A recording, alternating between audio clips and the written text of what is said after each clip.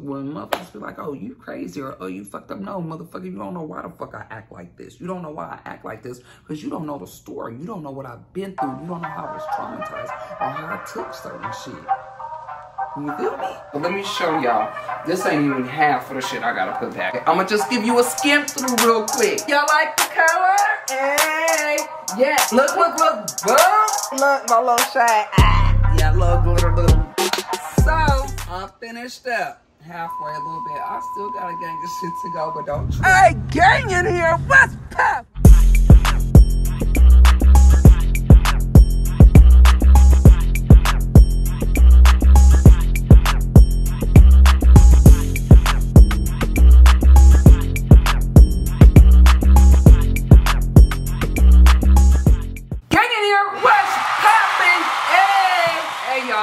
as y'all can see, we've been working on the house. The full tour is gonna be on the main channel, but right now, tap in with Mama Dukes. What's poppin'? Mm-hmm. Look at all this shit I gotta put back. All the, and this ain't even half of the shit. Like real shit. I bought me some new shoe boxes. I got these from Amazon, y'all. I like these better than my old ones. I got some old ones too. But anywho, what I'm gonna do today is go ahead and put my shoes back and I'm gonna put them in order and shit. But let me show y'all. This ain't even half of the shit I gotta put back. I got so much shit to put away. I'm gonna just give you a skim through real quick. Y'all like the color? Hey! Yes. Look, look, look, boom! Look, my little shine. Ah. Yeah, little glitter, little, little, little glitter, little bit, you know. You may say I'm too grown, but I don't give a fuck. I like bling bling shit. I like my shit just to pop. But come on, y'all, walk through one time. See my fucking window dirty as fuck from punk ass dogs. I love them, but they've been fucking jumping up there, so I gotta wash that shit. But look, I still got all this shit. It was not a lot of shit, but once I get done, once I start in there and then come in here, and then I still got all of this shit.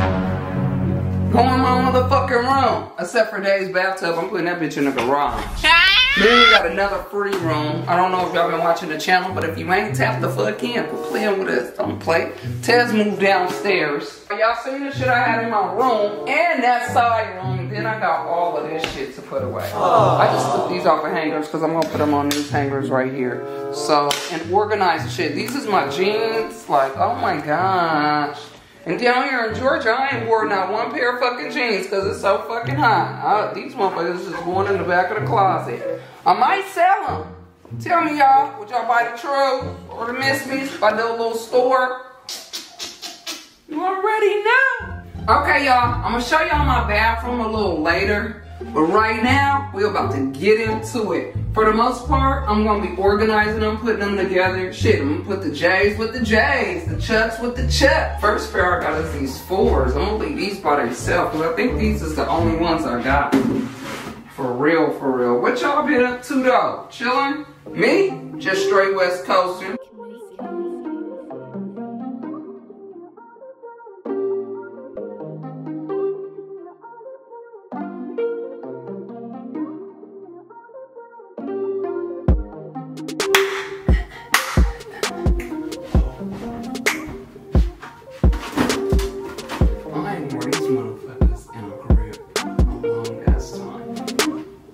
Y'all? I'm tapping in again. I had to tap back in with a little bit of story time. Y'all already know what's up. Y'all like my hair? And my shit It is long. I like this long shit. Tell me what you think. Drop a comment below and let me know.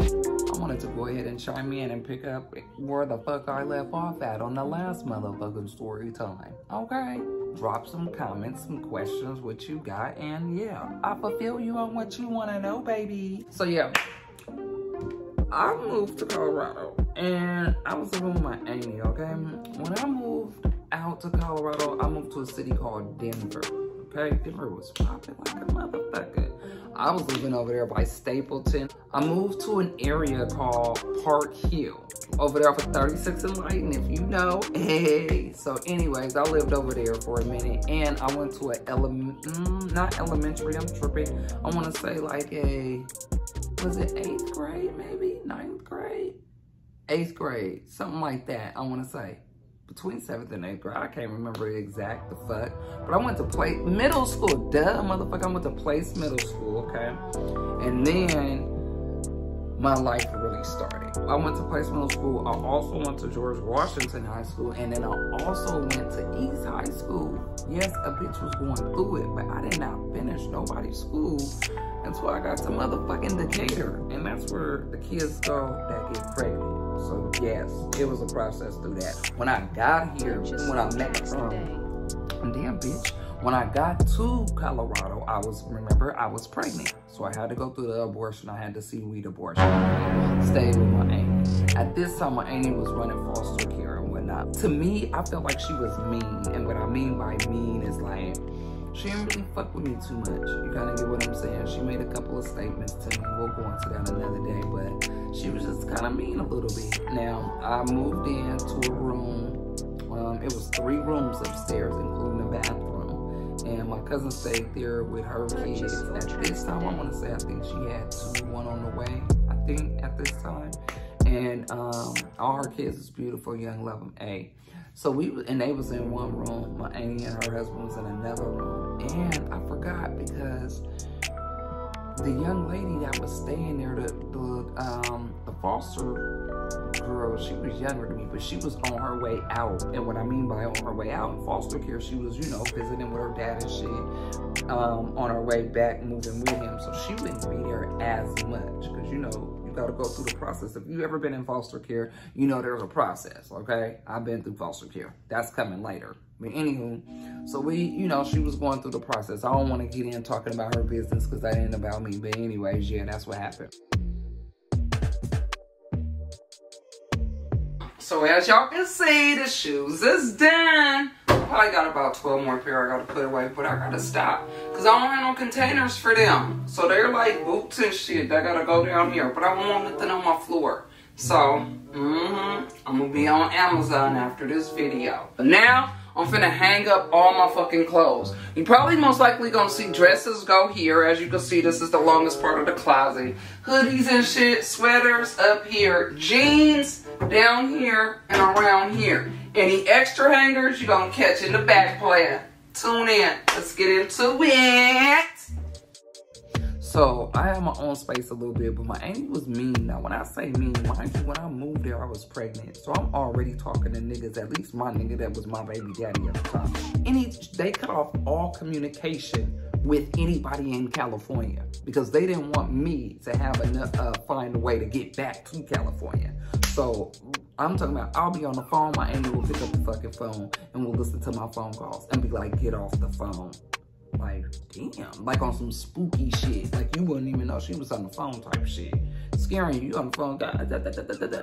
Get on the phone. Like, damn, no, fuck. Uh, uh, Long story short, she ended up unplugging the phone, taking the phone from me. So that cut off a lot of communications. We didn't have no cell phones back then. But I want to say maybe pagers. Bitch like me couldn't afford no motherfucking pager. Fuck out of here.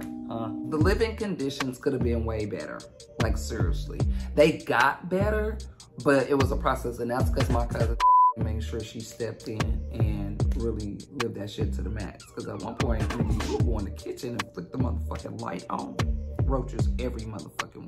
Like, for real, for real. The living conditions was not all that. My auntie would buy shit and put it up under her bed. Now, and then issue it out if we could have some whatever. And what I mean by that, I mean shit like that could go up under your bed, your pops, your chips, your, your snacks, your zuzu, wham whams, whatever. Now, one thing I will say is what I learned from that is because I got five kids. So when we go grocery shopping, you know, bitch was getting food stamps, we was always eating good. Heck, we playing even when I wasn't, you know? Shit, well, we had some good times and some bad times. But anywho, we was getting them stamps on the regular for show, bitch, lobster, crab, all that shit. But what I learned from that is, like, you know, I don't feel like, well, let me put it like this. What I learned from that is, okay, take your good, take your shit or your personal shit and put it up. Okay, yeah, that works. But then it was also when my cousin seen me doing that, she was like, nigga, you don't deprive your kids of no motherfucking food fuck wrong with you? you buy some shoes, put that. This is where it goes. It goes in the motherfucking cabinet, not under your fucking bed. That's one thing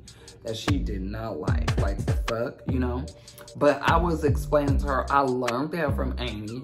But what I took from that is that my kids go in there and eat a motherfucking a hot dog, chips, and uh, have a soda, or you'll make them a full meal, and then the motherfuckers don't eat the full meal, or they want to just eat up all the chips or all the candy. You kind of get what I'm saying? So I'm like, no, I'm not doing that. So I took it, like, on one hand, when it was happening to me, like, that's mean as fuck. You know what I mean? But what I also did was take it and reverse that shit and was like, oh, okay, I get it too. You issue the shit out because you don't want these motherfuckers running around with cavities and shit. But, so I think I it worked for me a little bit. You know what I mean? It was bittersweet, but it was little shit like that that she used to do that fucking irritate the fuck out of me. Like the fuck, why? You know what I mean? So I'm going through that shit. And I ain't gonna lie, I was fast too. Like real shit. Yes, I did have an abortion, and then after that, I was right the fuck back outside. Cause I had a motherfucking cousin that used to be gone, bitch, still gone. But I'm talking about go out of there. Mm. So with that being said, she used to, you know, fuck with the niggas, the gang members and shit like that. And that's how I got connected with the motherfucking streets. Like, seriously. That's when I really, really, really start being outside. No, I'm not blaming it on her. Because, yes, I should have made my own fucking decisions. Bitch, you 13, you out here fucking, you done had a abortion, so you know a little bit about life. What the fuck? You feel me? And I could and when I first moved out there, I had a couple little partners, too. Hmm, we finna get into that. Because one of the partners that I we was cool. I forgot how we ended up separating, okay? And actually, we ended up separating because I went to go, I ran away and was fucking with this nigga. Kind of find out she had a baby by the nigga. We got a baby by the nigga. Our niggas, our kids is four months apart. You figure tell me? I'm not no like it was deep, y'all. It's way deeper than what niggas even think. And no, I don't know. Oh, I knew she was fucking no. I don't even know she knew I was doing some shit. You kinda get what I'm saying? That's how it was crazy, but it's deeper than that. Cause you know me like some real life Jerry Springer shit. But at the same time, that shit was weird as fuck because niggas went through some shit. Like, when I say I, I, went through some relationships, I went through a few relationships in my relationships. Uh, that's why I'm at the point where I'm single now, due to the fact that I didn't have a good choice in men. Now, I'm not beating up or blaming those men, don't get me wrong, because I told y'all about an abusive relationship I had. I had one prior to that, the fuck. Yeah, feel me? And if you was listening to the other story, I the first nigga, when I was pregnant, when I moved out here, this nigga done kicked me. Like the fuck, bitch, that's still abuse. Keep your feet on the motherfucking ground. Fuck out of here. You know what I'm talking about? I'm telling you stories for days. Any motherfucking who like I said, a lot led up to that because I was staying with my auntie. My auntie is cool. I love her. Don't, like I said, I cannot blame a lot of my decisions on her, okay?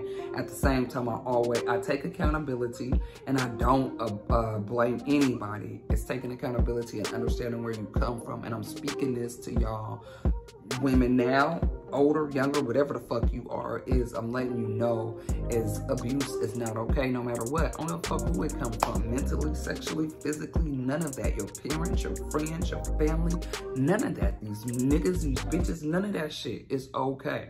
And so you have to put yourself when motherfuckers be like, oh, you crazy or oh, you fucked up. No, motherfucker, you don't know why the fuck I act like this. You don't know why I act like this because you don't know the story. You don't know what I've been through. You don't know how I was traumatized or how I took certain shit.